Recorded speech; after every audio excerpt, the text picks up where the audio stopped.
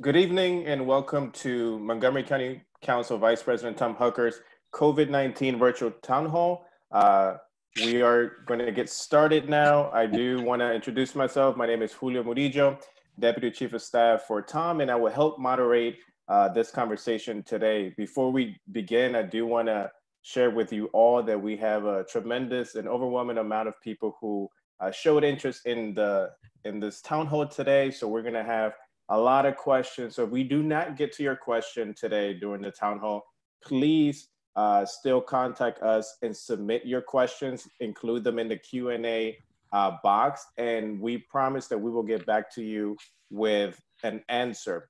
So, or you can also call uh, our office and leave a voicemail, and we'll be happy to follow up with you. Uh, so with that short introduction, now I'll turn it over to Council Vice President Tom Hucker. Thanks, Julio. And thanks to you and Dave uh, for setting all this up and everybody that's tuned in. Um, good evening, everybody. Um, the, as you all know, the ongoing COVID uh, emergency has affected our ways of life in, in tremendous, um, tremendous ways that we wouldn't have even anticipated just even a few months ago. Our everyday, we're all, you know, some of us are learning to work from home more efficiently. Others are on the front lines as essential workers. Um, we're all doing our best to get through this crisis um, that's affecting so many of our residents in just profound ways. Many of us have had friends or family members directly affected. Um, and while these uncertain times are really difficult for everybody, um, they pose an especially acute challenge for our seniors, for our uh, uh, uh, families experiencing homelessness, um, for our disabled, for folks who have pre-existing conditions, and for many other uh, uh, vulnerable populations. And so last week, if you tuned in, we were very focused on the school system and their efforts to stand up to distance learning. This week, we have some health experts with us, and we're really looking forward to, to doing a deep dive into how the county is addressing the public health emergency and um, hearing from you about what you think we could do better. So um, I'm really pleased that we have uh, terrific experts in, the, in those fields with us tonight. I, I do want to say at the beginning, I've heard from so many constituents in the past few weeks. Some have faced housing uncertainty as the crisis continues and the rent comes due. Some have uh, need assistance with unemployment benefits or have faced loss of income or food insecurity. Others are, are dealing with stress and anxiety and isolation. And with the emergency now entering its fifth week, we're sort of in a different phase. Um, I want to ensure that members of the community know um, that we have a lot of resources out there to make things better for them um, and to get in touch with us to help them access those resources. This is a caring community. We need to go to be patient with each other and kind. We're all dealing with an, an emergency we've never uh, lived through before. And uh, I know though that, th that this is Montgomery County and we're gonna get, get through this together. Um, before we jump into the program, I do wanna provide a brief update on just my work over the last week. Um, um, I posted six webinars reaching over 700 businesses with information apply, about applying for county and state and federal relief programs for our businesses that are, are hurting. It's such a, um, during this, this, what we think will be a historic recession.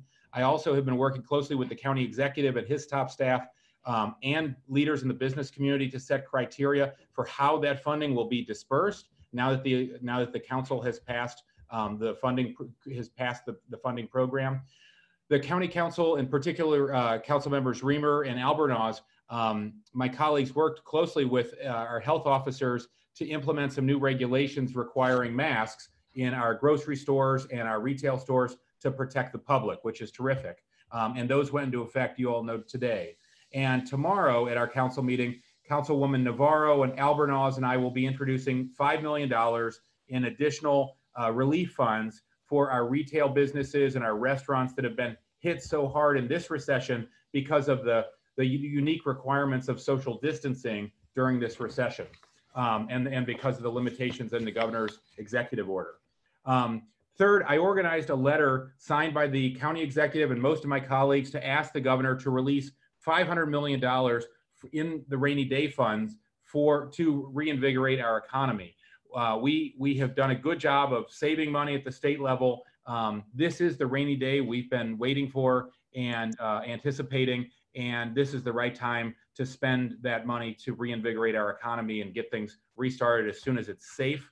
Um, we have not. Um, uh, we certainly have limited funds at the county level. We can't save the Montgomery County economy and and and and uh, restart it just by ourselves. We really need help from our state and federal partners, and that's what that letter is intended to do to support Comptroller Peter Franchot um, and others who have called for the governor to release those funds from the rainy day fund. And then finally, I joined my colleagues asking, um, and there were about 80 state legislators that signed a separate letter uh, led by uh, Delegate Nick Mosby. We all called on Governor Hogan to release the data on the racial disparities um, uh, regarding uh, the COVID 19 cases. And we're now going through the initial data to, to look at uh, the, the um, uh, to analyze them and to, um, to change our, our um, response to make sure that we're responsive to that data. There are limitations to how the data were released. Um, you uh, may have seen some of the media coverage of this. Um, unfortunately, some of the highest uh, numbers of cases are in Silver Spring in my district and Councilwoman Navarro's district and zip codes 20904, 20906, 20902. We're going to talk about that tonight, what that means and what that doesn't mean. Um, and uh, let me stop there, but I really want to thank everybody for joining us this evening. And you should know that my staff and I are here to answer all your questions during the tonight's town hall and afterwards. We've handled hundreds of individual requests after each of our town halls. This is the third one. We'll do another one next week and we're here for you and please get in touch with us if we're not able to take your question tonight. Um, if we can help you access government services or government grants or one of our nonprofit partners, get in touch with us. Um, so I'm going to stop there. I'm really excited that we have uh, some of our busiest and uh, more most expert county leaders with us tonight to talk about the public health response. The first is County Executive Marc Elrich is with us. We have the chairman of the Montgomery County Council HHS Health and Human Services Committee. My colleague and friend Gabe Albornoz is with us as well. We have Montgomery County um, Commander of our um, third police district, Darren Francke, is with us again. And um, and then after 7.30, we have a whole pan expert panel that I'll introduce then, um, representing many of our agencies and county partners um, that are dealing with some of our, our uh, most vulnerable populations. So with that, let me stop there and see, is the county executive on the line?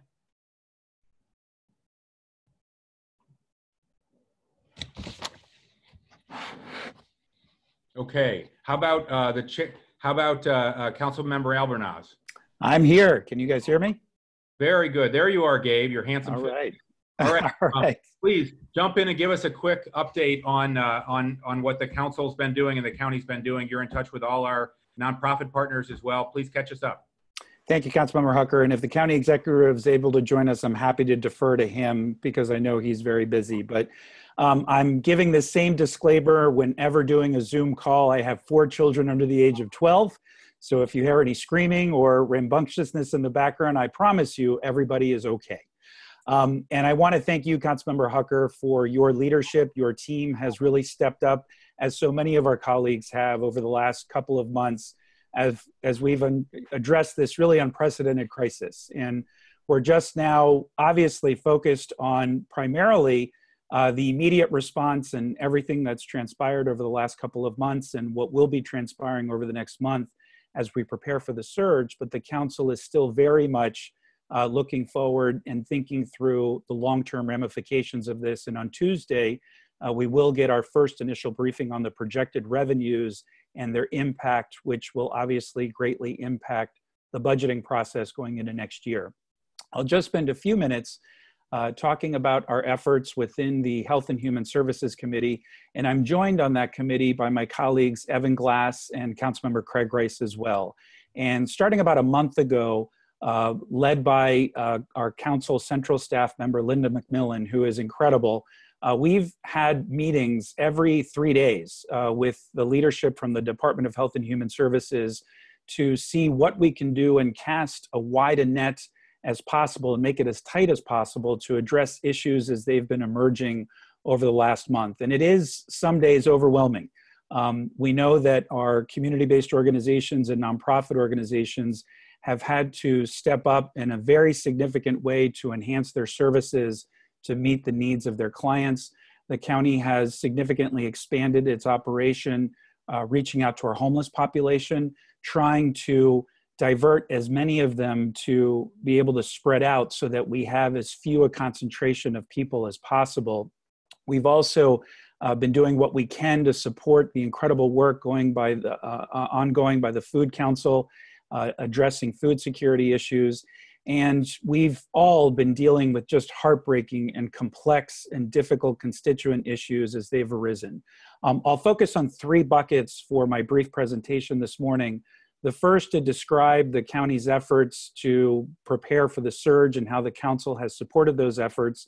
The second to talk a little bit about this $5 million direct cash family assistance program, uh, which I'm the most familiar with, and we've been the point on behalf of the council working with the executive branch on developing that framework.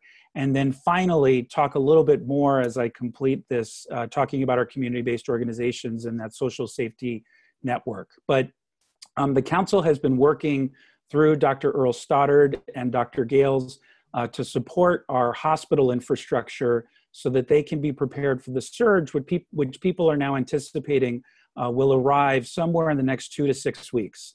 And so the council appropriated $10 million to increase the bed capacity, but also to increase the personnel and give our local hospitals the flexibility to be able to make necessary expenditures. The great news for Montgomery County is before all of this happened, our six hospitals had formed a nonprofit organization called Nexus Montgomery, and we're already collaborating very strongly in a, in a variety of key areas. And so they were able to leverage those partnerships to expand the base.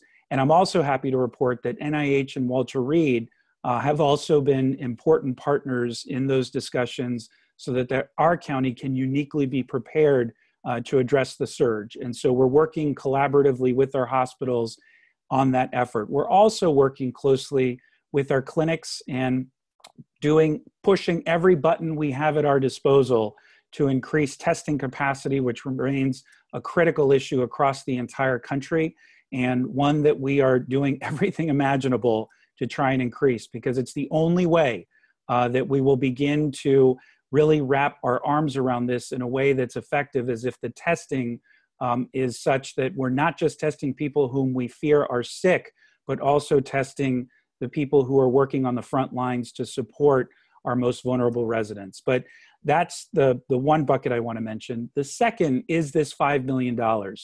Um, uniquely in our region, Montgomery County has stepped up, acknowledging that we have thousands, and I mean thousands of county residents who are not going to be able to access the $1,200 or any state funding that's been made available, whether it's because of immigration status, whether it's because people have made below the threshold to have to file taxes for several years. Um, the county executive and the council have been working collaboratively to make available $5 million, 3.5 of which will be administered by our Department of Health and Human Services, and 1.5 will be administered through our community based organizations and nonprofit sector. We know that there are a number of families who have been disconnecting from government services over the last three years because of this administration. But we understand that not only is it morally the right thing to do to support these families, but it's imperative for our entire public health that we engage these families and make sure that they are addressing their needs and that of their loved ones. And so the $5 million is being worked out literally as we speak. We saw a first draft this past week, which my colleagues and I have commented on.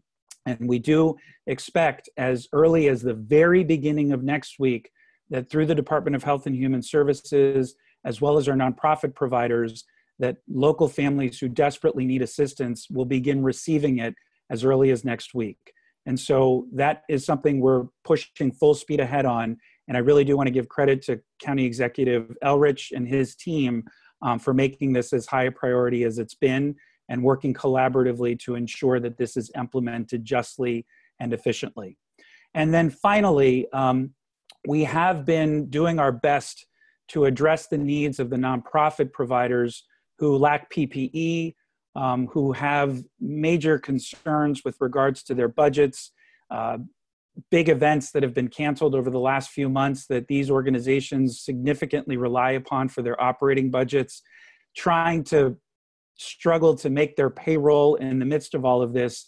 And they are absolutely such a key partner in the county's efforts to expand our reach and to ensure that we have the strongest possible social safety net. And we're working our best to shore up their needs. The council did appropriate an additional million dollars to support those organizations. And my colleague, Councilmember Navarro, and I are engaging the philanthropic community to try and leverage private foundation dollars with county dollars so we can expand our reach.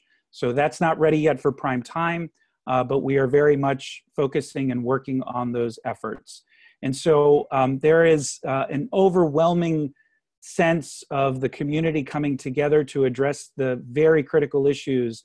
Um, but as we all know, while we're in the midst of this immediate crisis before us, we're going to have to stick together long after this to fully address the needs of our community. Councilmember Hucker, thank you again for your leadership and that of your team. And I look forward to hearing the other presentations and trying to answer any questions that our public may have. Thank you. I've been joined by my son Will, apparently. But hey, uh, Gabe, let me uh, please thank you. Thank let me thank you for your leadership. You're being very modest, but that the five million dollars and the additional million didn't happen by itself. It happened because you are so in such close touch with our HHS department and our nonprofit partners. You identified the need, you advocated for it, you were able to get our colleagues to vote for it unanimously, even though there's a lot of uncertainty about the budget. And um, it wouldn't be happening without you. So I'm really grateful. And I know you have your finger on the pulse, and I'm going to defer to you if you there's additional needs out there. Um, we're all committed to fund it, I think. So um, thank you again, and thank you for your availability tonight. I know the county executive uh, is uh, is with us and is linked up. Um, Marc, are you with us yet? Okay, let me, um, he's, he's linking up. Let me uh, go to Dr. Bridgers. We're so glad that you could join us. Dr. James Bridgers, our Deputy Health Officer. Good afternoon, Council Member uh, Hucker, uh, Council Member HHS Chair uh, Albornoz. Um, I know the County Executive uh, is going to join us momentarily, but thank you again for inviting me. Dr. Gayles, uh, who does many of these um, um, town hall meetings and we'll be presenting to the council and the board of health tomorrow. We'll provide more details regarding what we're doing to combat COVID-19 and its spread in Montgomery County. But I wanted to give you some quick updates as I've done the last week and then just kind of touch on four points uh, since we last met last week. So at a glance, we have 8,936 cases, confirmed cases in Maryland. Um, in Montgomery County, we have 1,756 confirmed cases and 48 deaths. And so I know that much of the work that we've done over the last week focused principally on four things um, Councilmember Hucker, you alluded to the zip code challenges we've been having in analyzing data. Uh, Councilmember Albornoz, you talked about the surge planning. Uh, but in addition to that, we've looked at the healthcare, um, the health officer's audit that just came out. We've also looked at strengthening our capabilities to respond to needs in our long-term care and assisted living facilities. And so one of the reasons in concert and meeting with the county's leadership, Dr. Gayles and other planners at the state and local level, as we continue to see the increase of cases in not only the state and in the county, thought about ways to increase and safeguard and protect our community. So he issued the health order, which directs individuals to um, wear face coverings versus face masks. They're synonymous. However, a face mask has a different connotation in that we try to reserve those face masks for our much needed healthcare professionals and our uh, first responders. So if you use a face covering, you can be creative, but the whole point is to cover your face from spread, spreading any other disease if you are asymptomatic or if you have a sneeze or a cough so the droplets uh, won't uh, uh, be transmitted.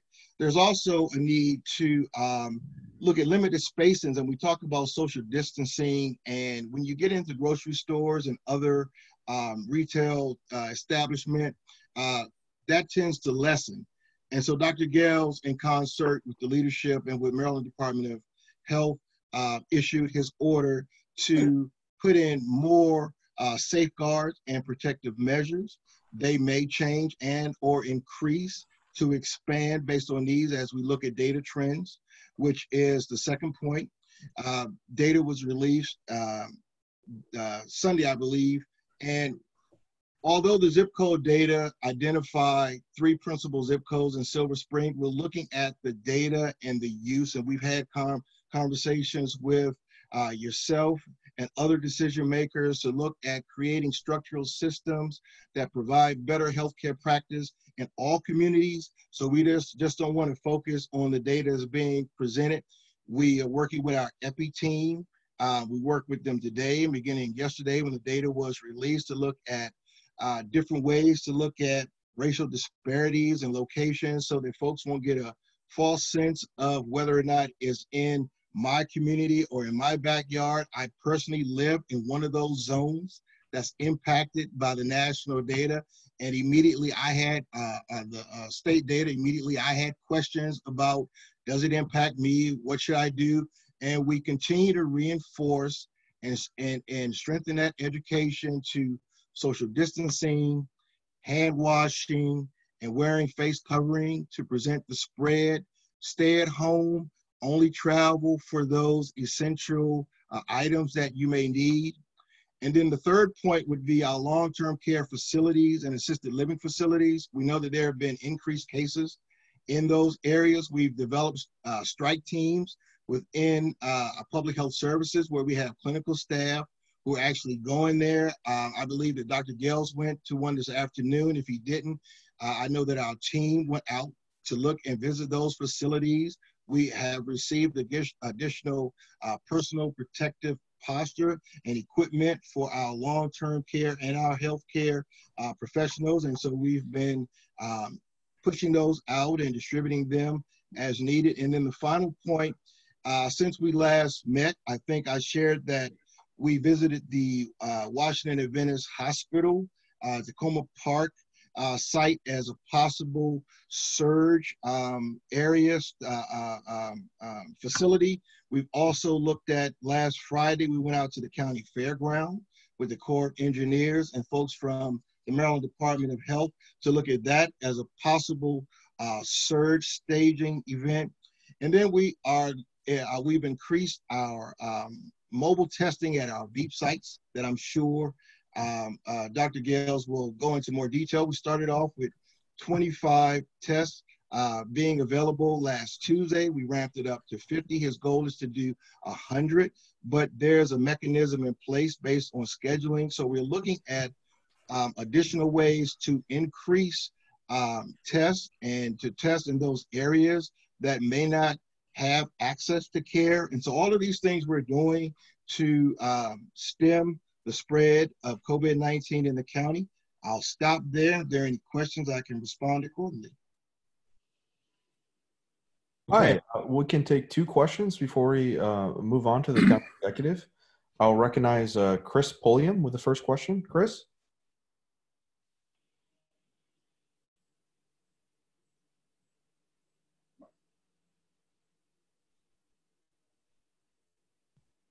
Hello, Chris, are you ready?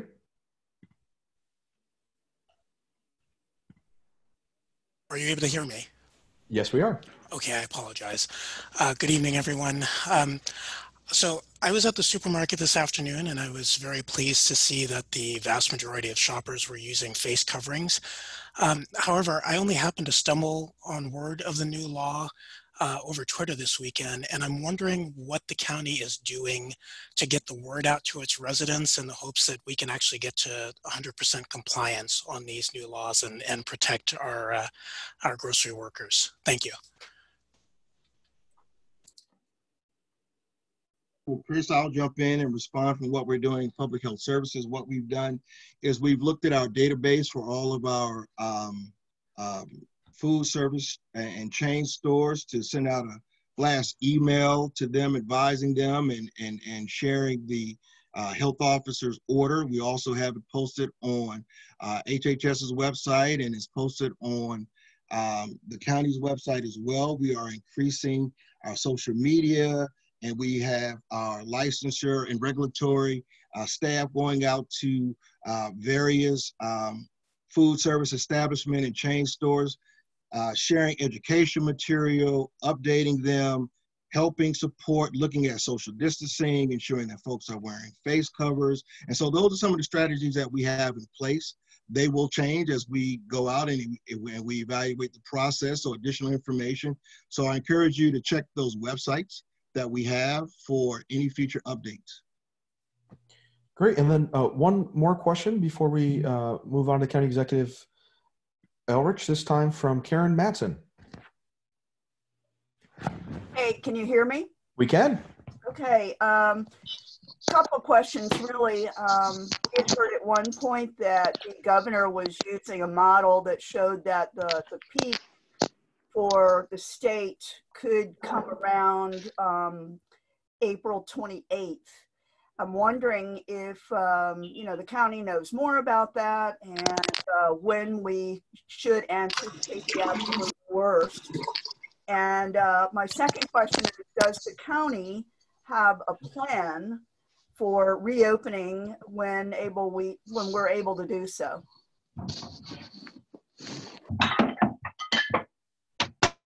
Sure, great question. I will address the uh, surge planning that we're doing in HHS and public health. Uh, we've used a couple of models, not only uh, at the state, we've used uh, models at Johns Hopkins and the University of Pennsylvania. Our uh, team of epidemiologists and graduate students from the area universities are looking at the modeling um, over the next two to six weeks um, as we get closer to a more accurate number based on the client count, we will share with the public as part of that uh, information process. So those are the modeling strategies that we have in place as I currently share that information with you this evening. And I guess I can answer the question about reopening. Um, reopening is going to be a fluid thing because it depends on the conditions under which under which we reopen. If, if the governor will announce an end to the emergency, that would be the trigger, I think, for reopening. But we still maintain we still may maintain um, some practices going forward in order to um, just be effective in in reopening. And I guess you know my concerns are there may still be a continuing social distance. Um, we have done an awful lot of telework, more than anybody ever imagined. And it has opened up the door that we might well retain more teleworking in order to prevent, you know, the densities at workplaces that we have right now, or at least we had before this all started. But I think our intention is to get running as soon as we can get running. We've tried very hard to maintain as many of the normal services that we can maintain, particularly those that don't require face to face personal contact. So I, I guess I view the situation fluidly and it'll depend on the conditions that we actually are talking about when they decide that it's time to start reopening. I think everybody's anxious to reopen.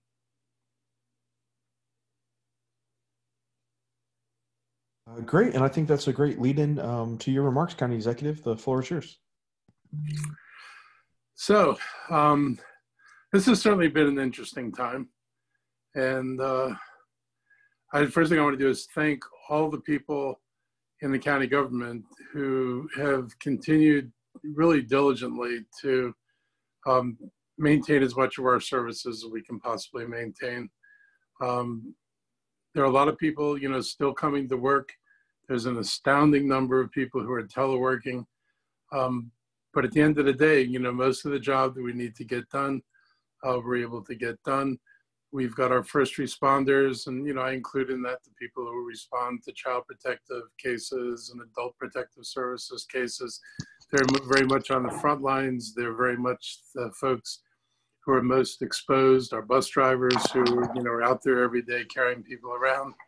Um, they are really to be thanked for the work they've put in um, and their commitment to making sure the county keeps running. I also look outside, you know, the county's walls and think about all those health professionals, the people in the clinics and the hospitals and the nursing homes um, who are caring for people under really, really difficult circumstances and putting um, their own health in jeopardy often to do that. And in the beginning, when supplies were insanely short, um, they really, really had had themselves in a difficult place. We have begun, um, and the hospitals, I think, have greatly improved their supplies. Uh, we're trying to stay ahead of the train. Um, it's just there's a lot of people doing a lot of amazing work. I'm glad that uh, you know we were able to keep the restaurants open on a limited basis, and that the, we were able to flex some of the liquor laws in order to allow you know some revenue boosts to the res- to the restaurants. Um, there are a lot of other folks who are shut down, I really you know feel for them because that's uh, it cuts right to their their incomes. Uh, I have um, I've been trying to push people toward federal programs because the federal programs are larger than the county's program, and our county program can help, but federal programs are likely to help a lot more. The county's $20 million. Um, the regs, I mean, the application should go up formally tomorrow, assuming that the IT people get it all translated and they can validate that it's working right. Um, we're going to get out um, money as quickly as we can. Uh, folks will request um, how much they need, and we will immediately just process the checks from 10,000 and below and even to the people who asked for more than 10 and then those will be immediately evaluated um, to make sure that they we get the additional funds out. Um, if if that all happens we serve about a thousand small businesses which i think people know is a fraction of the number of small businesses in the county. And some people may have been able to consult and do their work from home but if you're in the retail end of the world just like the restaurant end, end of the world you're either open or you're not. And if you're not, you're not collecting revenue. I don't think anybody had um, catalog sales set up and ready to go in the absence of being being able to open. Um, but we're managing this. We're working closely with the state. I will say that the governor has been very cooperative. Um, we actually have had really good conversations with his staff about what kind of needs we have. The one I think huge outstanding need is that we've got a segment of our population. Montgomery County is not the only county that has a large undocumented immigrant population. Um, they pay rent. They had jobs up till when they lost their jobs. they're an integral part of the economy, and they're absolutely ineligible for any of the financial support that is going to to other people who've lost their jobs it is it is a real serious inequity. It's it's just sad because you know these folks are working every day. We're working every day and paying taxes and paying the rents and keeping our shops busy with you know with their consumer behavior and you know there is a lot of um, positive in all this and the ability of people to come here and make a living and that's kind of been shattered, and I'm very worried about what happens when they lift the emergency and people start saying your rent's due. And I want to see April's rent, and I want to see May's rent if you haven't been working, and how people are going to manage that is extraordinarily difficult. Right now, we've got about five million set aside for individual support. No doubt that is going to have to increase. And we are having discussions with the governor's folks to see if there's any way that they can find a way to provide some income support for folks who aren't going to traditionally who aren't going to qualify for traditional paths of unemployment.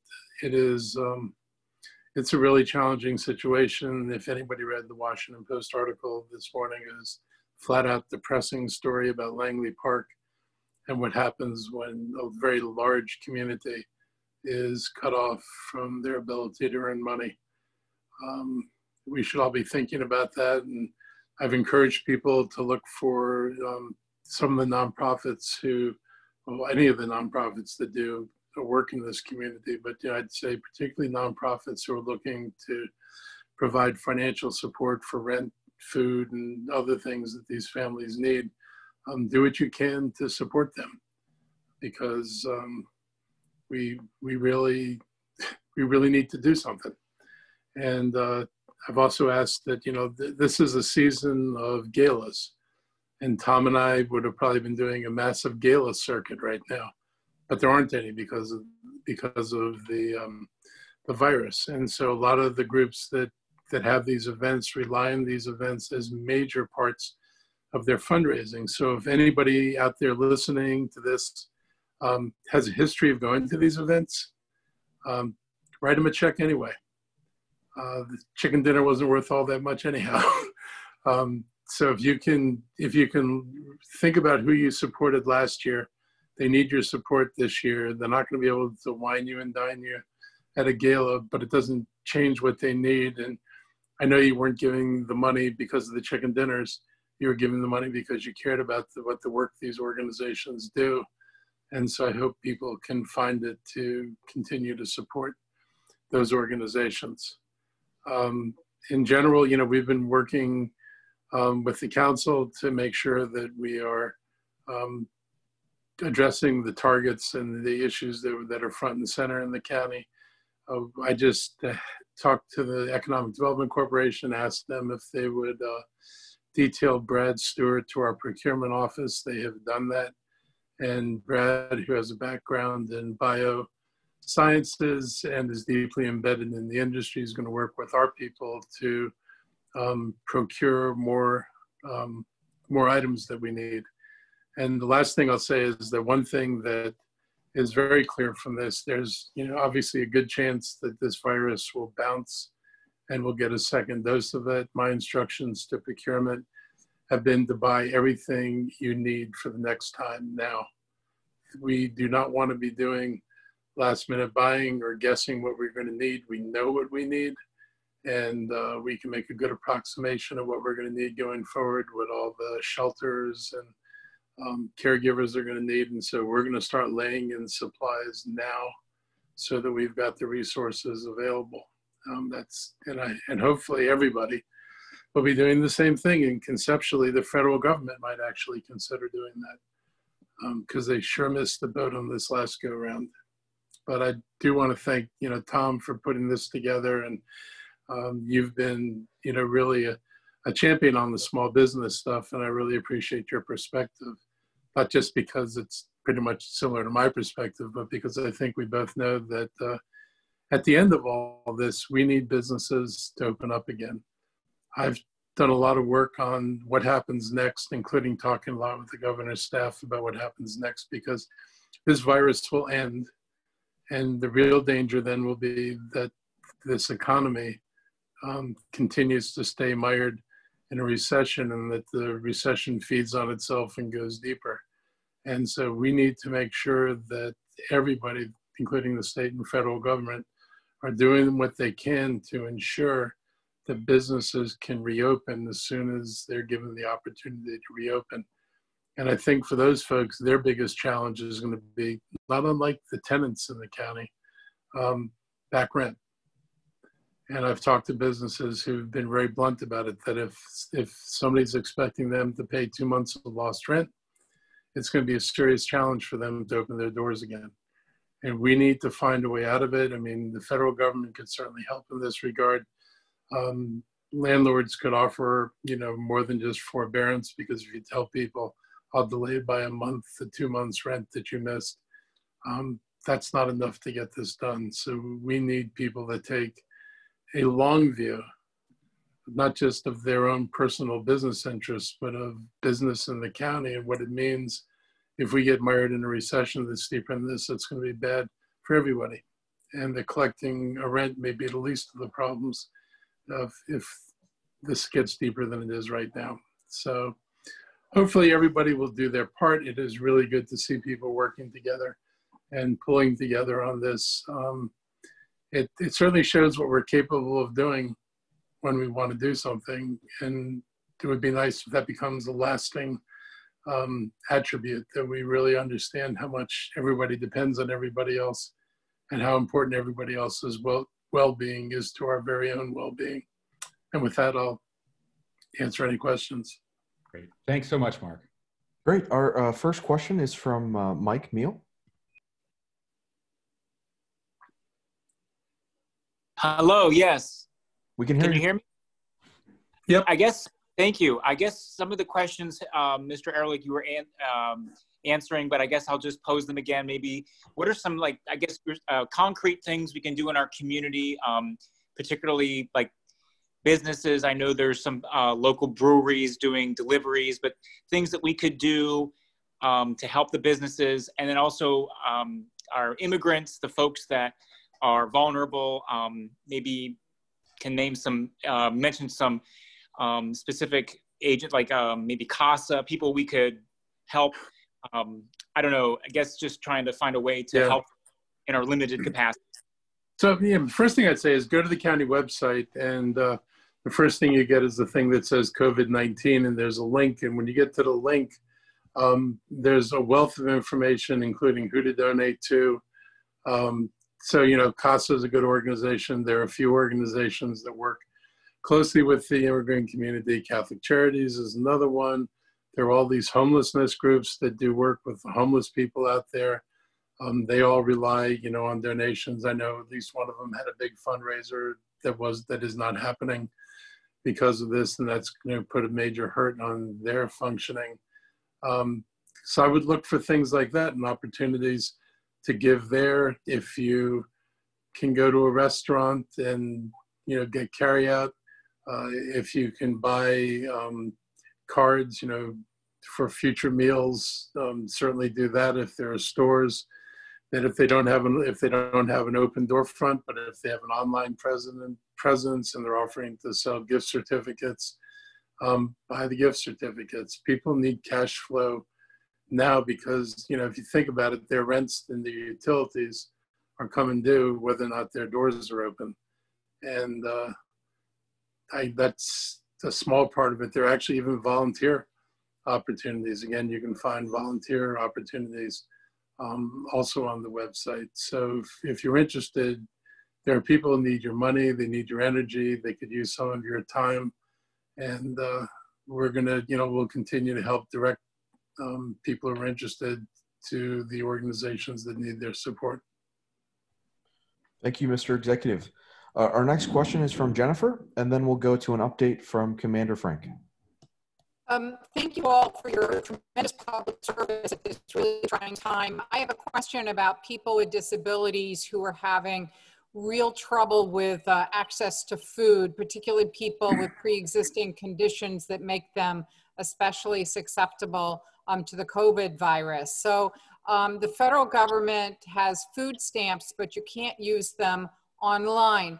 Um, so County Executive Elrich, um, six states have been able to get a waiver from USDA so people can buy food um, with their food stamps online and have it delivered. And so I'm wondering if you can encourage Maryland to do the same, number one, and number two, the delivery fees, whether it's Instacart or, or Amazon or Walmart, if, if, if maybe there could be some help with the delivery feeds on that. And also for senior citizens are able to get Meals on Wheels, but that's not true for people who are not seniors Right. and are people who are blind or quadriplegic, et cetera. So funny you should mention that because we were, I was on a conference call earlier today with uh, Laura Chardukian, and she's working to get the state to allow SNAP benefits, other benefits to be um, paid for with a SNAP card without having to come in. I think you probably know, not everybody does, that if you were to um, to, to had a credit card, you could purchase from any of these businesses online with the credit card. If you have a SNAP card, you have to come in in person. Um, and that may be a real challenge. So we're hoping that um, she can get the state. I'm going to um, chime in on that as well because I think it's important that if other states have been able to do it, um, we should be able to do that as well. Uh, I know a little bit about disabled people. My um, my son is my foster son here has been um, without services. He's fortunate enough um, that we're home to take care of him. Um, but I think about the people who are, for example, independent living and often relied on a worker coming to help them and deal with some of their life um, challenges. And uh, if those folks aren't going out and doing that, um, then these these people are very much on their own. And uh, I can follow up to see what contact our social services has had with some of the agencies that deliver services to people with disabilities. And we can certainly um, try to persuade um, the stores to waive the delivery fees for folks with disabilities. That would be a decent thing to do. Thank you very much. Great. And now we're going to uh, go over for an update from uh, Montgomery County uh, Police Commander Darren Francke. Good evening, council members. Good evening, uh, Mr. County Executive. Appreciate you guys having us uh, on. On, I'll be quick because I know you have a lot of important people on the medical side, and, and thank you to all of our, uh, our, nurses, doctors, our medical workers, our fire rescue folks that are working so hard uh, at uh, helping people that are in great need need to get better quicker. So thank you. Real quick, our uh, calls for services last week they kind of settled down. Uh, in the third district, we had 145 calls per day average. That's 35% down from what we normally have. Uh, notable decreases in that is uh, alarms, uh, assault calls, but I have a, ca a, caveat that I need to discuss uh, about that. Our check the welfare calls are down a little bit. Some family members are, are more able to check on people, and that was something we were concerned about. Our property damage collisions and our uh, and our uh, personal injury collisions are also down 50 uh, 50%. And our traffic uh, calls, uh, complaints about uh, various traffic hazards, trans interactions, those are down 60%. We do have some very notable increases though. we have got increases in domestic disputes. We've got that are, we've got increases in domestic violence, um, and, and, we've got in, increases in, in domestic violence with, uh, juveniles involved, uh, fights between uh, kids and their and their folks, kids and their caretakers. So 50% uh, increase in, in domestic disturbance calls, 46% increase in domestic violence. This is for the third district. Um, there's there's numbers available for the whole uh, county as well. Um, Thanks. Can so, you uh, Commander, sorry, Tom. Thanks so much for being here. But could you could you do uh, not not everybody uh, on the the the call and the feed is in the third district? Could you describe the boundaries generally, and and is the same trend happening countywide?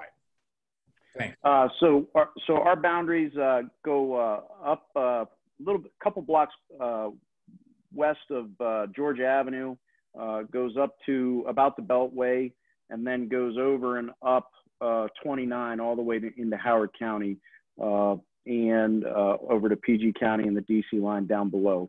Uh, across the entire county, we are seeing similar. Across uh, all the numbers I talk with, uh, these are specific to the third district. But again, our calls calls for service remain down. But when I talk about the the increases that we're seeing, domestic violence is up, burg- commercial burglaries are up and auto thefts are up. And this is very similar to what they're seeing in, in New York City. Uh, that uh, and and they're a little bit ahead of us uh, in this process of of dealing with COVID-19. So we're starting to see that now. If you remember last week, I said think uh, uh, the actual crimes were uh, normal.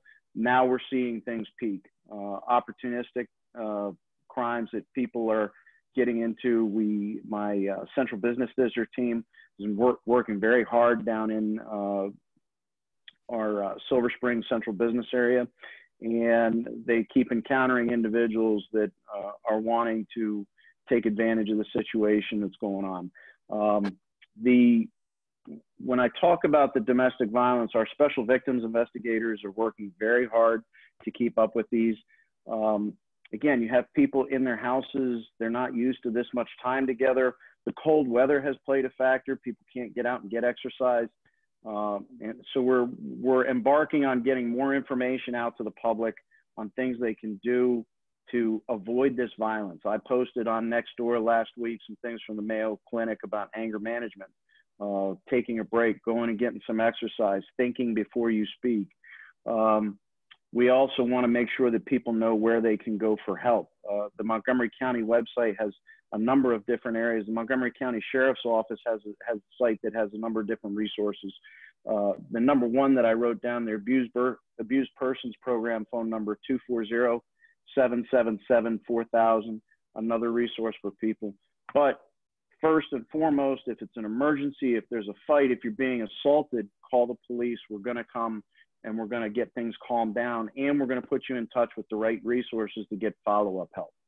Um, the uh, it's again we're we're we're very uh, concerned about this trend. Uh, we're concerned about the violence that's going with it, and and uh, really at a time of unity, we got to find a way to get past these these uh, domestic disputes and and and uh, come out of this again stronger, have having spent some time together.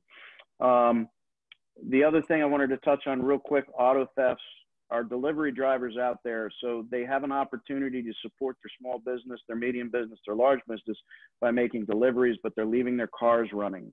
And they're leaving their cars running when they go to make a, a delivery. I, all, all of our uh, folks that are on here that are listening, that are involved in, in the restaurant business, that are involved in the delivery business, get with your drivers, tell them, turn your car off, take the keys, turn it off, it really takes two seconds to start a car. Uh, folks are that quick. They're jumping in and rolling away with the car. Uh, and, and, this is a very simple thing that we can put a stop to. Uh, other than that, our standard uh, precautions about theft from autos don't keep things of value in your car, don't keep that backpack in the back seat, don't leave things in plain view. Take them out because all our cars are sitting in parking lots now officers are, are, are rolling around. I will tell you, proud of the citizens. Last week, uh, my officers made three theft from auto arrests in the middle of the night. Citizens that couldn't sleep, they were up, uh, spotted people. Our officers were right there, made arrests after a couple foot pursuits. That's good stuff. The last thing I'll, I'll, I'll say is, is stick with uh, see something, say something. If you see something suspicious in your neighborhood, you're there. You're kind of getting the feel for how things are give us a call. We are there for you. We're going to get to the we're going to get to the scene and potentially put people under arrest that are taking advantage of this of this uh, situation. The last thing, uh, one of the one of the folks have said uh, Nextdoor is a great resource. I'm trying to build that up in the third district. We're up to 26% of our residents on Nextdoor. We're posting uh, things more often there, and all the districts are doing a great job. It's also, in addition to the county website, which has terrific has a terrific COVID-19 page where to guide you. Uh, Nextdoor is a way for us to touch base and for you to touch base with your neighbors, and we're putting out information there. So everyone be well, and I appreciate the uh, opportunity to speak with everyone. Thanks so much, Commander. Really appreciate it. Great. So while I'm pulling up our uh, pulling back up our presentation, I have a question for uh, Chair Albornoz. Uh, can you ask the governor to allow people with disabilities and seniors to use food stamps for online groceries or food delivery? Six states do this, but not Maryland. Yes, so I think the uh, the county executive has been a strong advocate, and his administration's been doing a terrific job um, advocating on behalf of our disability community. And to their credit, uh, Council or um, Dr. Raymond Crowell and Odile Brunetto from his team have formed a organizational structure similar to our food council to address the very unique and profound uh, needs of our disability community, which are also being disproportionately impacted by this virus. Everything from our group homes and ensuring that the staff there have PPE um, to uh, trying to make sure that as testing becomes available, that these organizations and these highly vulnerable individuals are in that first tier. Um, but we will, I think it's an excellent suggestion with regards to reaching out to the governor. And again, to the county executive's credit, he has been in constant communication with the governor and his team. And we will certainly run up, run that up the food chain because I think it makes a lot, a lot of sense. Great, uh, thank you, council member. Uh, next, we're going to start our Q&A on community resources for uh, vulnerable citizens. Uh, first, I'd like to ask uh, each of our uh, guests from service providers to introduce themselves and just uh, talk very briefly about some of the services uh, they're providing right now. Um, looking at the slide, we'll just start at the top with Jackie. Uh, thank you very much. Um, my name is Jackie DeCarlo from Manna Food Center. We um, really appreciate this opportunity. The leadership of uh, Councilmember Hucker and all who have spoken in the various uh, um, aspects of coming together as a community. We also appreciate the community's support um, with uh, donations, offers of volunteering, and suggestions about how to um, continue the work that we're doing. Um, We also appreciate and want to acknowledge that um, the council members supported a special supplemental um, that would allow us to uh, re uh, fit our approach. I'm sorry, I'm distracted by my cat coming into the screen. Sorry about that. A little entertainment. Um, I believe Dave has some slides or I can share my screen to help you all understand what we're trying to do to um, be responsive. We have been in the community for 37 years and I wanted to kind of echo and remind people what we're saying early on that we um, are able to, there we go, thank you. Um, we are able to uh, do what we do because of community support and a track record of delivering. These are unprecedented times, but we also have a great staff who are committed to taking our distribution sites, staying safe, and still keep serving. Um, and we wanted to make sure that everyone had um, the best information about how, how to do that.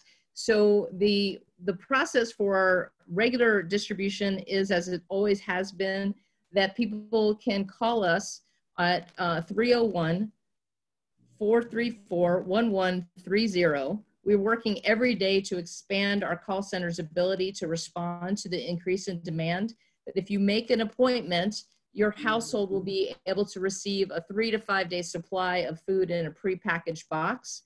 Um, we have also added as a response to COVID what we're calling stay put packs. And um, if you're eligible, you can receive a no contact home delivery and you'll be notified about eligibility during the time of scheduling. So our staff and volunteers are answering the calls when they get information from you of where you live, what your circumstances are, that is something that can be offered. So there was an earlier question about people with medical conditions or disabilities.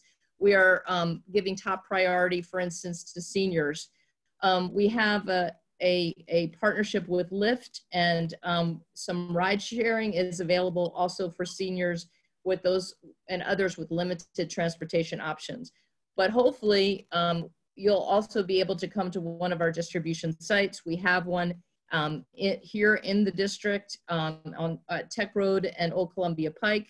We're very proud to be a part of uh, this uh, district's community, and we also have other locations at Glenmont United Methodist Church, Colesville Presbyterian Church, Silver Spring United Methodist Church. The faith communities have been really helpful to us.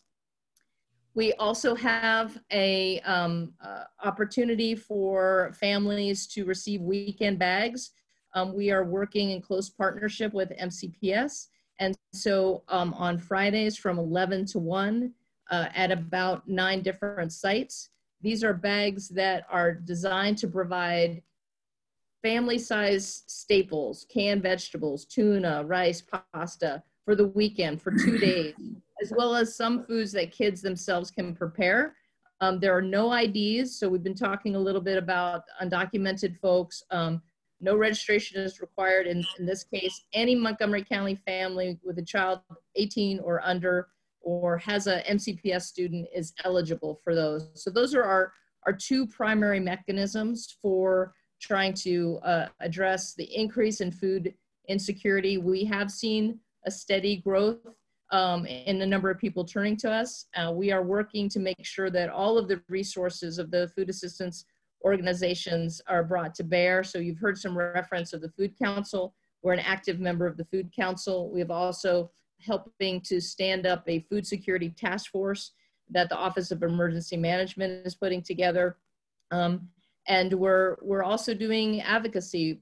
Heard a little bit about SNAP. We're an active member in Montgomery Hunger, uh, I'm sorry, Maryland Hunger Solutions, which is working at the county, the state, and the national levels to make sure that policies are as, as supportive as possible. Um, so those are the kinds of things that we're we're doing, and um, happy to answer any questions about um, uh, ways to access these resources or other ideas that people have. And I I do apologize that I wasn't able to. Um, to get this the screen shared, but uh, it may be one of the slides that that Dave or Julio has.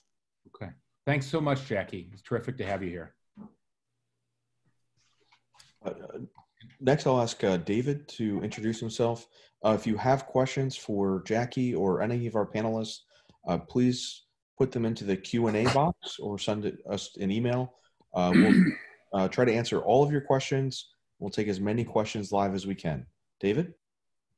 Thank you, Tom, and thank you, Dave.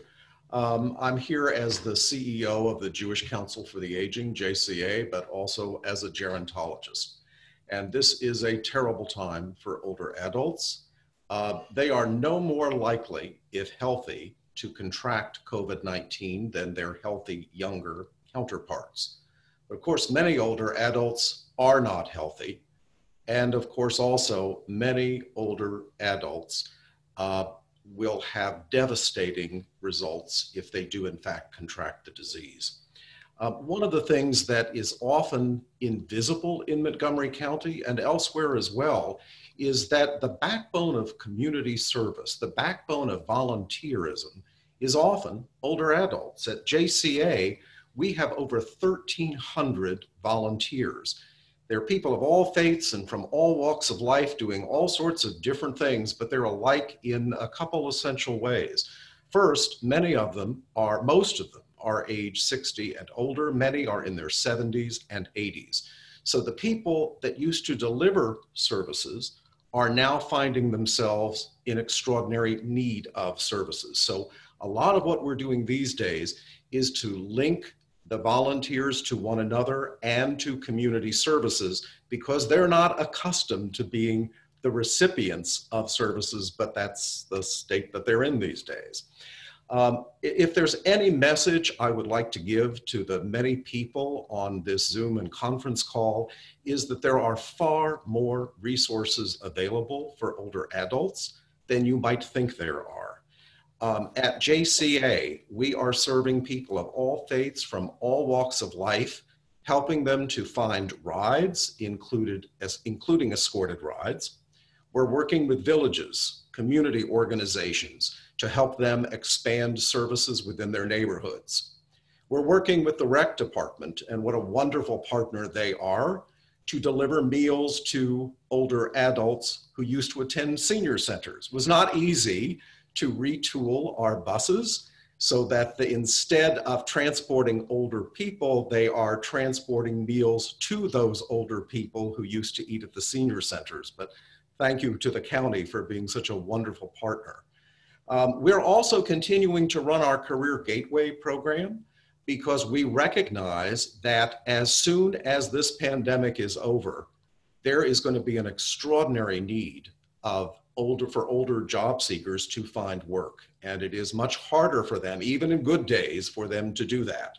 Um, we are pilot testing a program that used to be very much face-to-face small groups and transforming that into a digital format um, we're working with people with uh, who are in the early stages of alzheimer's disease and other forms of dementia imagine for those of us who are well how depressing, demoralizing, scary it is to be isolated at home.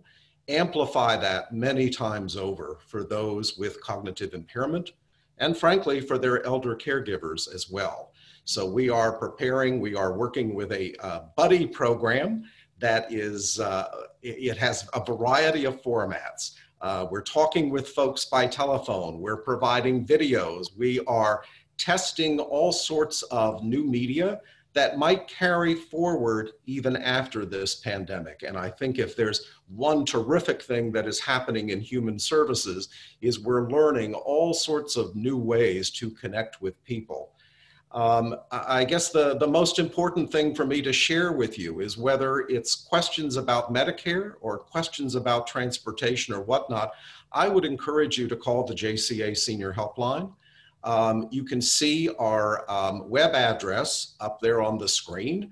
Um, when you go on uh, to our website, just look up our, um, our resources. There are a lot of them. Or call us at 240 290 3311. That's 240-290-3311. We probably will not be able to take your call real time, but boy, we will get back to you just as quickly as possible. And that can be your central portal to all of the services that I've mentioned and, and many more. Great. Uh, thank you so much, George.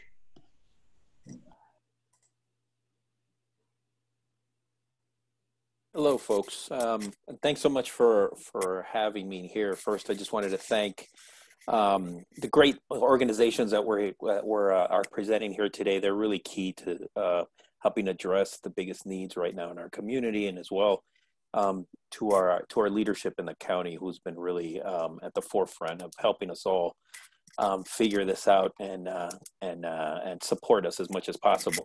Um, so I, I, think a lot of folks probably on this phone call are familiar with our organization, CASA. Um, I'm not going to go into a, a, lot of detail into what traditionally we do.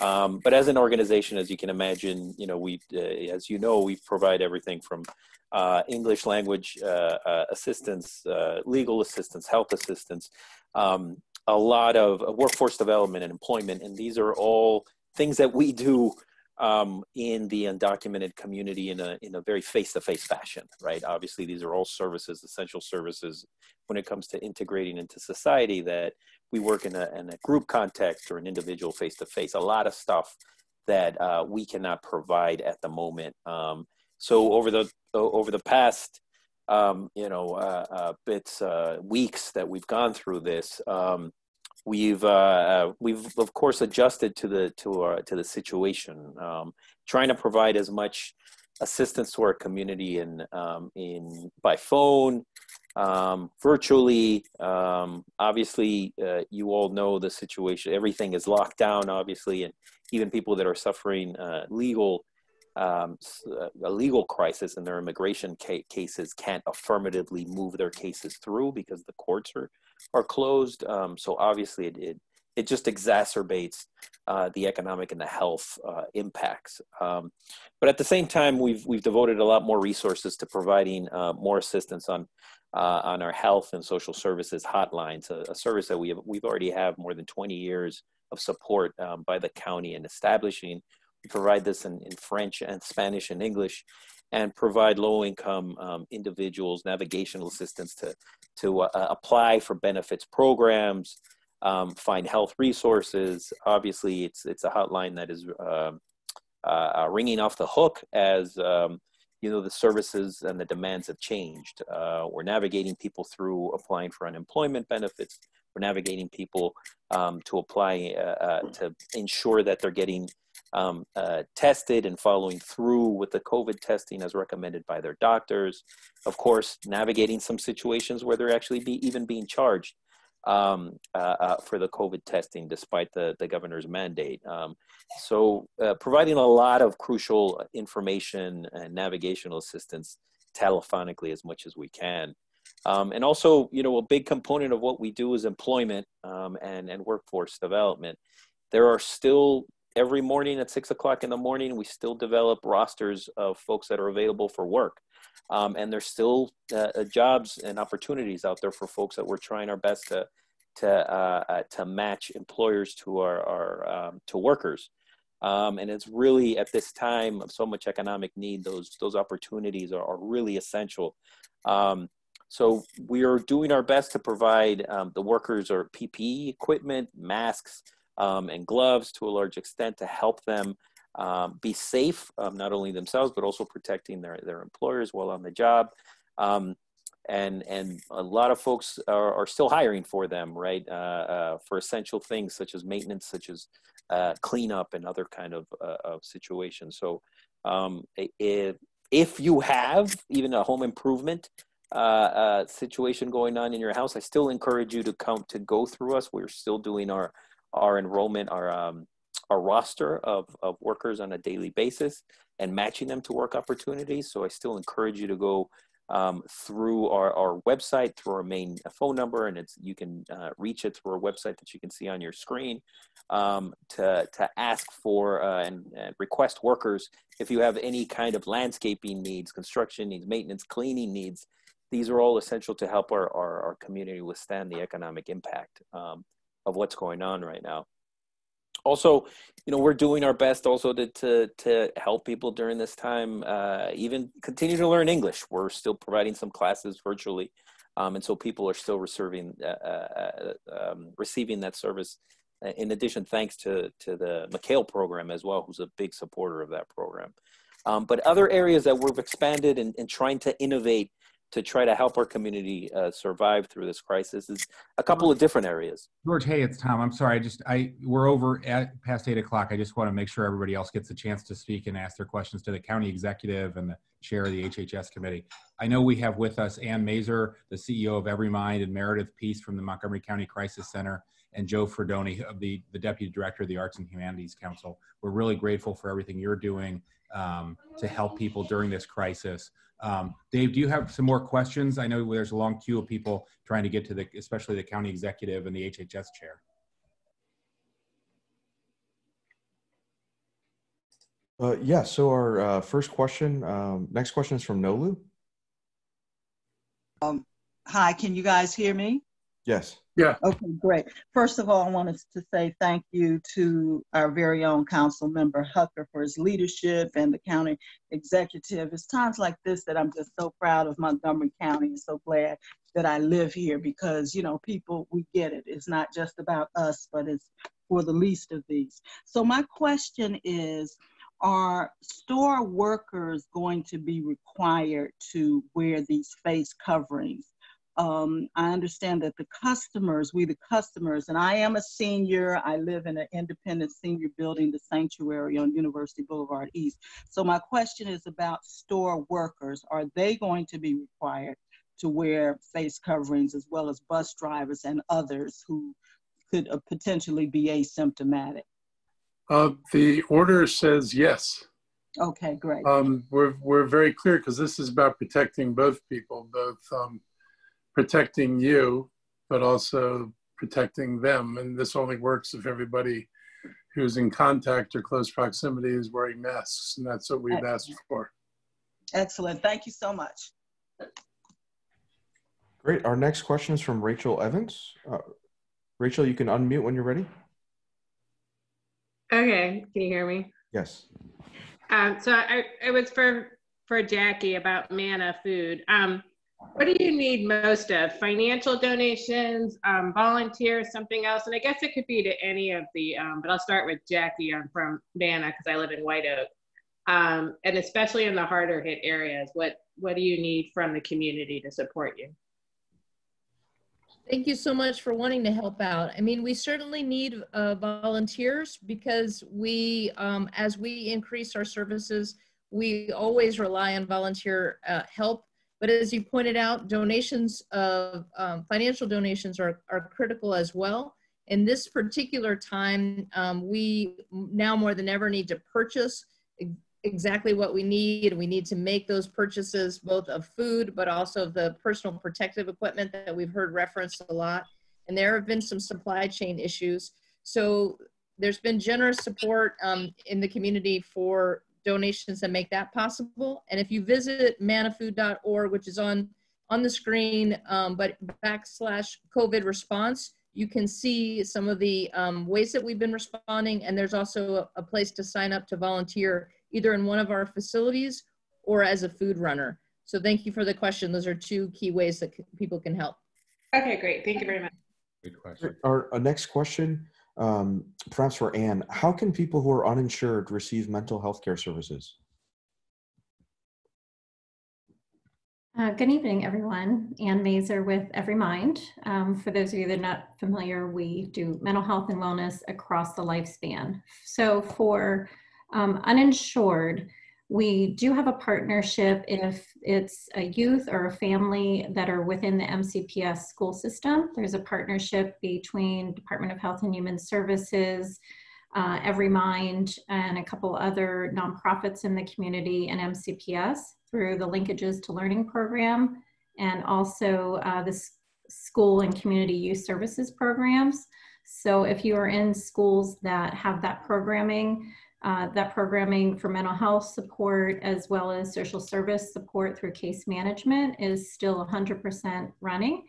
If um, you do are not, um, you know, don't have a youth in MCPS or one of those um, linkages to learning or school and community-based services schools, you can reach out to us on um, our um, hotline. Our hotline is a crisis line, but it is also supportive listening and resource and referral. That number is 301 738 2255. And uh, a call counselor on, on the line can help you find a provider that can provide um, either if you're uninsured, Medicaid eligible, or if you do have insurance, uh, find someone that takes your insurance. Great. Our next question will be from Mark Green. Um, we had a question from Ruthie. We've been encouraging residents to think of this as physical distancing, not social distancing.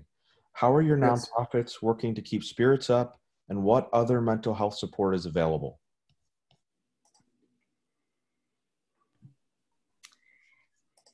Uh, first and foremost, at this time, I would um, say that we are recommending everyone to take a few minute, moments for self care. Uh, if you do go to our website, we actually have a webinar that is recorded uh, about some tips for self-care. But first and foremost, it's, you know, that analogy of putting the face mask on yourself first. It's the same for mental health and wellness. Uh, so uh, take, take breaks during the day, um, set schedules, try to uh, set maybe only one or two goals for the day and work on just those one or two goals.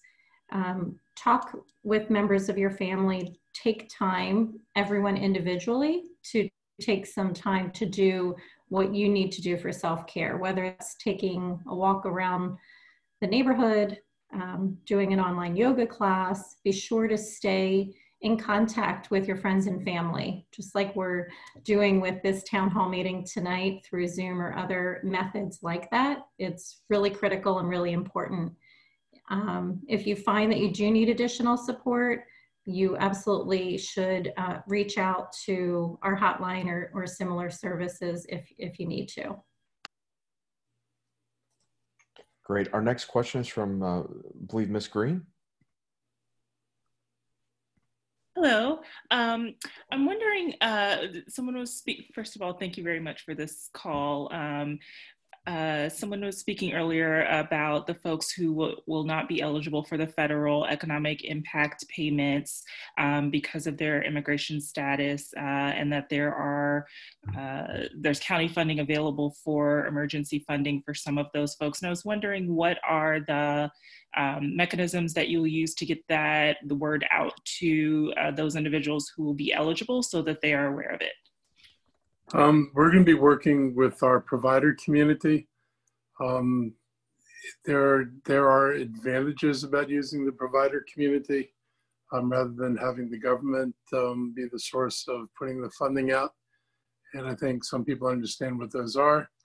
Um, so, so um, we're going to make sure that people who are connected and doing work in that community or those communities um, are front and center in terms of being able to get the money out to those communities. That seems like the simplest, most direct way for us to do it, and we don't have to invent something that we may not have developed very well ourselves. I mean, we've, we've always relied on nonprofits um, to provide services in the community. This is not going to be anything different. Thank you. Gabe, did you want to say something? Yeah, I would just add very quickly, um, in addition to what the county executive just said, the Department of Health and Human Services is working with a lot of key stakeholders, including our faith-based community, uh, to make sure that we conduct outreach and really hitting the families who have disconnected from government services. And we're also going to be working with some of those connectors within communities, those trusted individuals and leaders that are out there, um, in addition to our faith based community, to make sure that we get the word out and that as many people as possible have access to these funds. Great. I'll take a written question and then um, and then Avi, Steve, and Jenaline. Uh, so the question is, are there still social programs that residents can access online?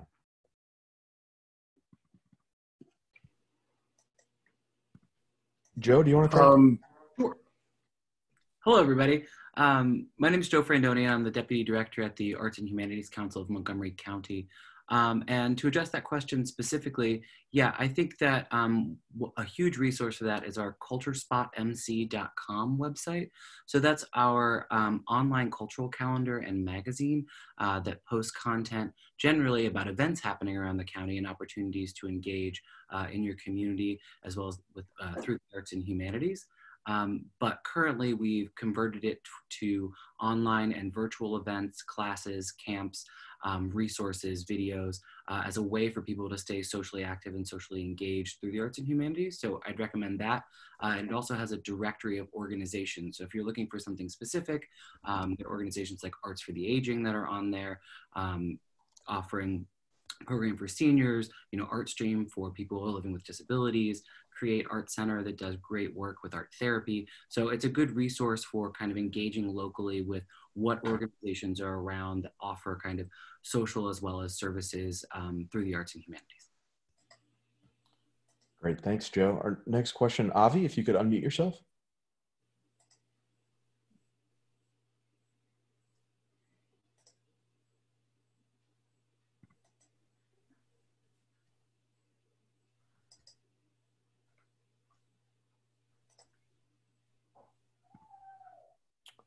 We'll come back to you, Avi. Uh, Steve, you're unmuted. Did you want to ask your question? Yes, it, it's uh, it's already been asked, I think. Great. What, what can the county or county residents do for the undocumented during this difficult time? I think I tried to address that. I mean, I think yeah, I go. I'll go back to give to those organizations which um, traditionally have helped the undocumented, uh, volunteer for organizations which have traditionally helped the undocumented.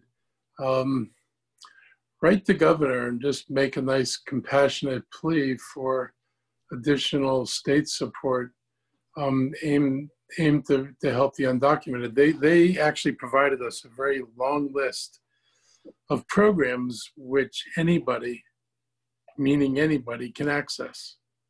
And so we've taken that and we're in the process. I don't know if it got posted today or if they're working on posting it up today. Um, but they were going to um, provide all the information, all the state programs that can help people. And there are a lot of state programs that do not require um, or are not contingent on immigration status. Um, the big question is none of them really have the capacity to replace the incomes at the level they need to be replaced. And so the important thing would be to see what we can do to get um, to get the governor to look at ways of providing direct funding for some of this.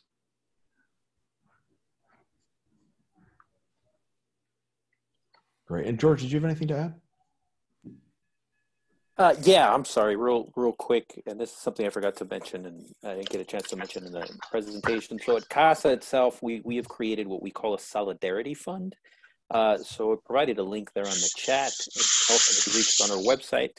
Um, the point of the Solidarity Fund is that uh, it's it's they're, uh, we're raising funds from individual donors, like people on this phone call, to distribute, to distribute directly to uh, uh to individuals, uh, specifically undocumented individuals that are not going to receive and not eligible to receive anything that the federal government right now has approved through the CARES Act. So right now we have a list of 400 families that we're going to be um, uh, uh, supporting directly that we've already uh, been in contact previously. We've raised uh, nearly $100,000. That, that gives us enough for that initial priority uh, list of folks that we have right now. Uh, but of course, the need is, is vast. Um, this is an, in complement to what the county is doing as well.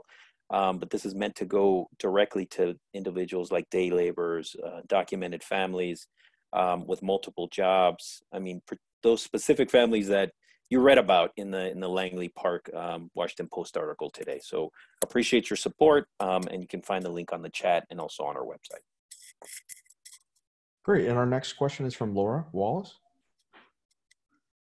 Um, earlier on the call, uh, Councilmember Albornoz um, let us know of the $5 million that's um, for direct aid to residents, how much is going through Health and Human Services, um, and how much is going through um, providers directly. And I just didn't catch the exact breakdown, and um, I think that's something that people would really love to know if a council member or someone else could reiterate that those numbers.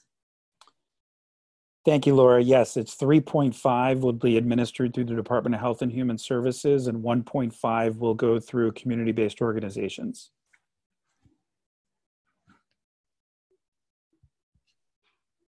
Great, thank you. Uh, we've received uh, many uh, questions throughout the past few weeks uh, concerned about a rise in uh, domestic violence. Um, could um, could we just talk about uh, services related to that?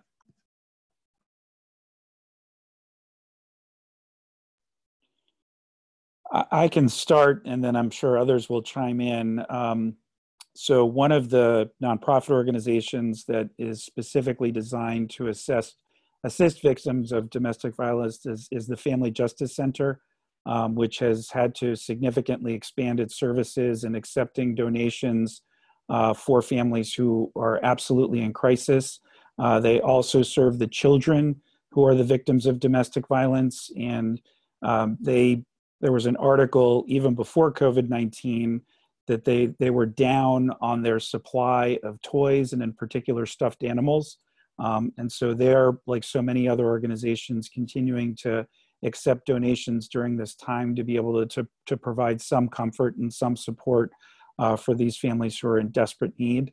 Um, and I know a number of our providers, specifically in the mental health space, are also working to provide additional support. And as you heard from an update within law enforcement, uh, we're trying to step up our support. I don't know if you saw, just as a side note, there was this story. Um, there was a reporter from the BBC who wrote on her hand the phone number of the domestic violence number in that particular community in England, and the the number the calls went up over thirty percent. So it's it's and, and that's of course in another country, but it is a huge issue. And I'm also, I'll be quite candid, terrified that there's been a record sale of alcohol um, as as we've seen through all of this. And so you have this perfect negative storm coming together all at once. And so um, I, I uh, call upon all of us to reach out and volunteer and provide support for our neighbors who are particularly in need and really in crisis right now, and refer those services that you heard from EveryMind earlier, um, but to also call 911 in instances where we suspect something terrible has happened. And, and Dave, this is Ann if I could just add to Gabe's point, uh, I'm not sure that I specifically said that the number that I gave, the 301 738 2255, you can also text to that number and our counselors can connect that person to organizations that specifically are working with uh, domestic violence. But oftentimes we find that the option to text is a much safer um, avenue versus a telephone call. So that's something also that someone can reach out and we can connect them directly to organizations that are working in it, uh, with domestic violence. I, I, just want to add to that. Um, we met with um, the moms group, and uh, we're we are um, going to put out some public interest um, advertisements about domestic violence and about just generally and mental health related issues. I do want to say about the alcohol. Here's the irony of of um, what Gabe said. Um, one reason that the alcohol sales are continuing is because people are very afraid of what happens when alcoholics can't get alcohol. And the going through the withdrawal and the uh, the effects that that can have on um, families and what happens. And this one hospital person said to me, the last thing I want to do is have to use my precious hospital beds to detox an alcoholic. Uh, so it's a very, um, it was a very interesting and, and mixed kind of situation, but uh, there's certainly a danger in having alcoholics not have access alcohol that puts their families in danger as they start to detox. So there was a reason behind um, getting to that point, and that's sort of the reason that was behind it. Thank you. And I know some of these questions have been uh, very relevant to the Montgomery County Crisis Center. Um, and uh, uh, Meredith, if you could shed some light on, uh, on these topics and the other services you provide. Okay, uh, fortunately, uh, my manager's on here tonight, Dornay Hill, so she may want to chime in as well. But the Crisis Center is open 24 7 for walk ins and telephone. Our mobile crisis calls are suspended at this time, and our crisis beds are suspended at this time.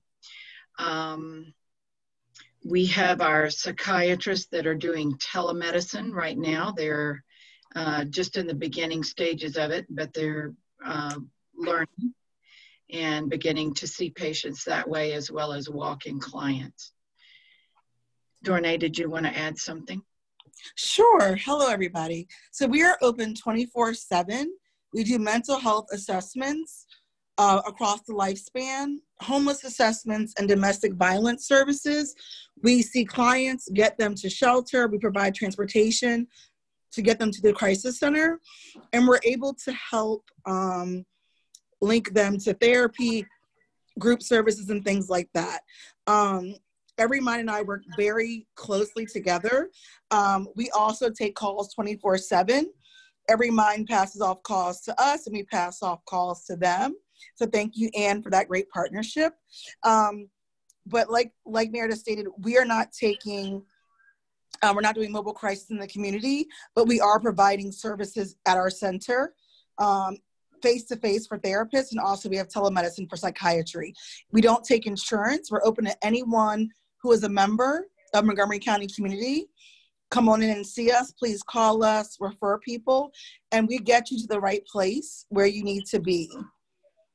Um, so there's been a misconception in, out there that we are um, closed, but we are not mm-hmm. closed.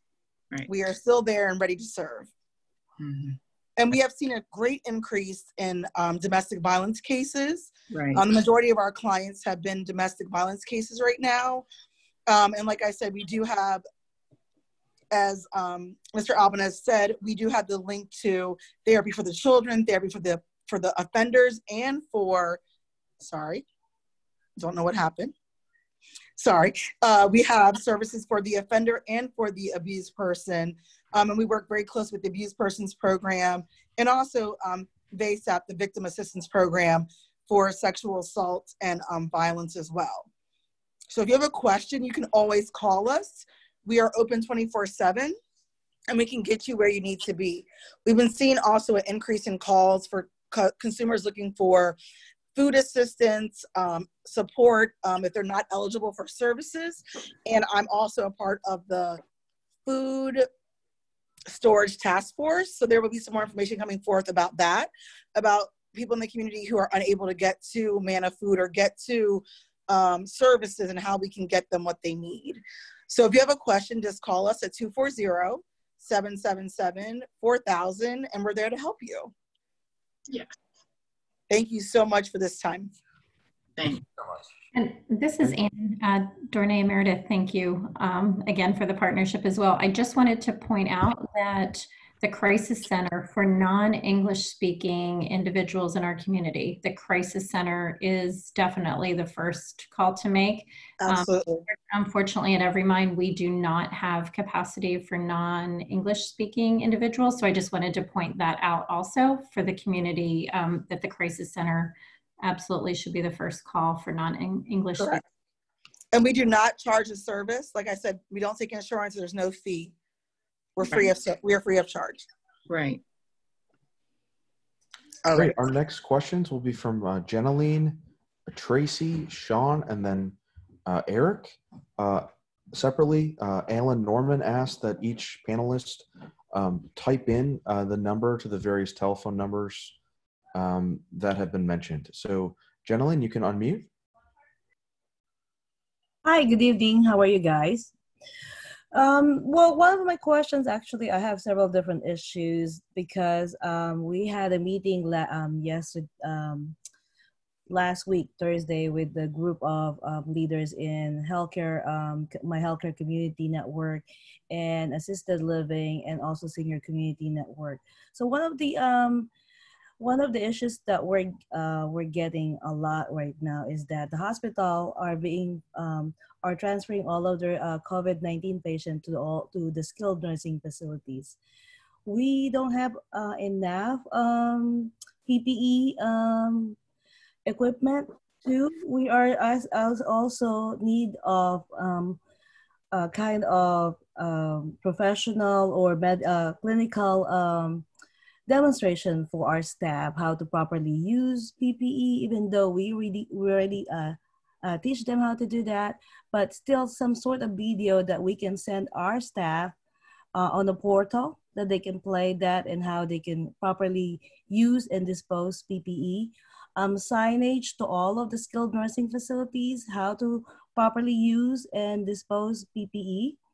And then for the uh, villages, because um, I I talked to several different uh, villages um, of Montgomery County. There are growing concern of some of these seniors that they, do, they still don't have enough groceries, transportation, or to pick up their medicine.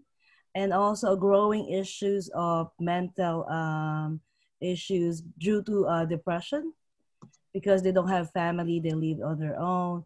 So they don't have um, access to the um, to technology and also some of them they don't have internet. So we're trying to go to a um, public television to constantly provide resources. So see if they can post those resources for the seniors that don't have internet or not skilled to go to a web. So they can actually watch um, uh, still photos of information that they can call or access Sure. So those are some great questions, and hopefully we've answered some of those throughout the presentation. But um, uh, panelists, uh, does anyone want to start? I'll just say I don't know of the hospitals moving COVID 19 patients to nursing homes unless they're on the recovery side of it rather than the I need to treat them side of it. I mean, the, the hospitals are trying to preserve the beds inside the hospitals for COVID 19 patients who need the medical care.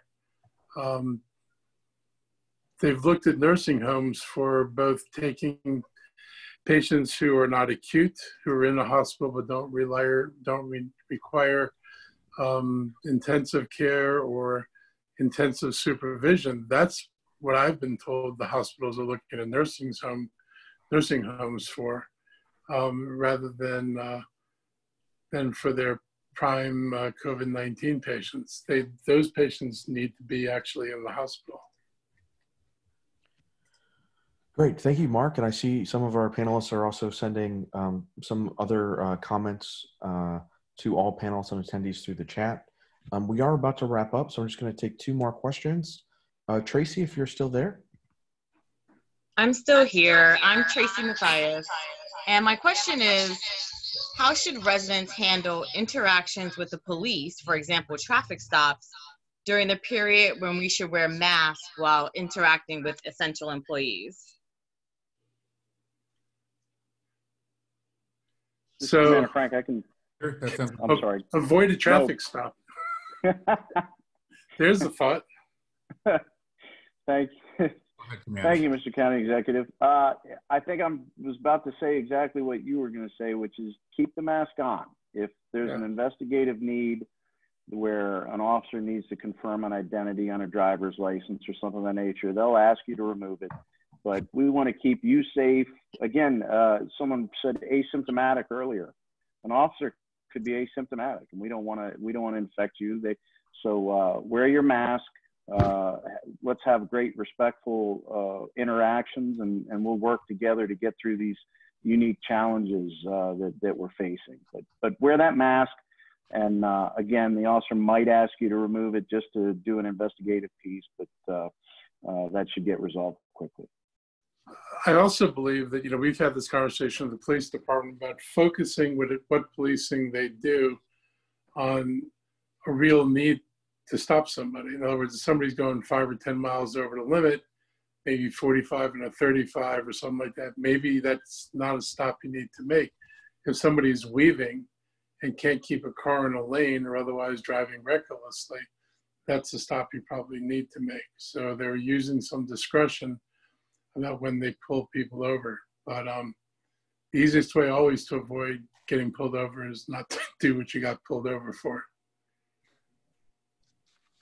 Great. And then uh, final question, just um, uh, if any panelists could recap any uh, transportation services uh, that are available for um, the elderly and um, vulnerable residents.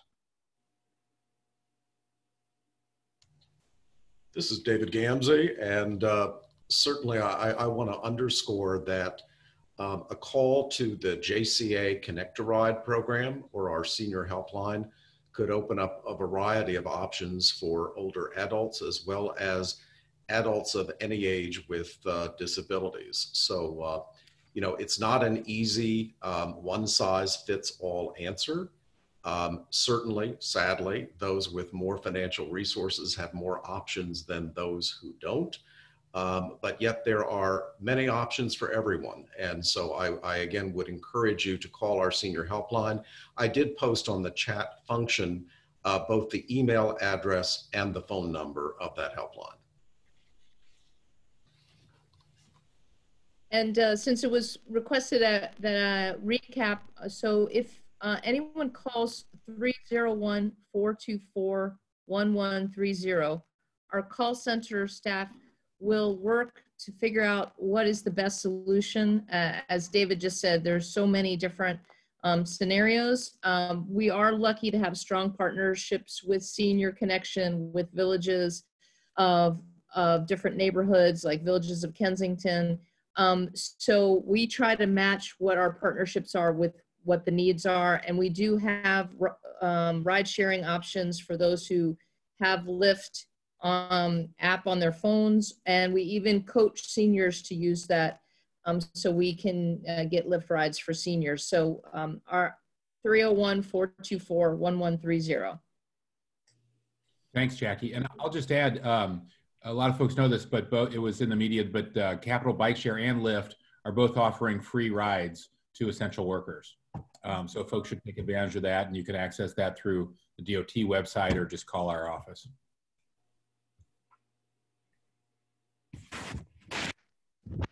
Great. And any uh, closing comments, uh, Councilor Hucker? Thanks, Dave. Thanks uh, to you and Julio, Dave, uh, for putting this together. This is a lot of work. Uh, I've been on a lot of Zoom calls that don't go off uh, so seamlessly. So um, I know with with uh, the large audience that we have, this is a lot of work, and appreciate everything that you're doing. And I want to thank the county executive for being on, and and um, the council HHS chair Gabe Albornoz, my colleague and friend. Um, I didn't expect you both to stay on for so long, but I really appreciate it. I know our, our listeners and viewers do as well. Um, and thanks so much, uh, Commander Francke, uh, who's been on three calls in a row now, um, and our Deputy Health Officer, Dr. Bridgers. Thank you so much, as well as Jackie and David and George and Ann and Dornay and Mer Meredith from the Crisis Center and Joe. Um, I know all, all of our listeners and viewers benefited from your wisdom tonight. We're really grateful for your participation, hanging in there um, with us. Thanks to everybody who joined us for our virtual town hall. I want to reiterate that the county government is working seven days a week and here for you. And if there's individual services that you need, get in touch with our office, which is 240-777-7960. Feel free to call 311 as usual or email me at tom.hucker at montgomerycountymd.gov. Um, and we'll be here next Monday night at 7 p.m. for a follow-up discussion feel free to RSVP at tomhucker.com slash COVID. Thank you all again. Uh, stay safe, stay home, and stay connected to us. Thank you. Thank you. Thank you, everybody. Thank you.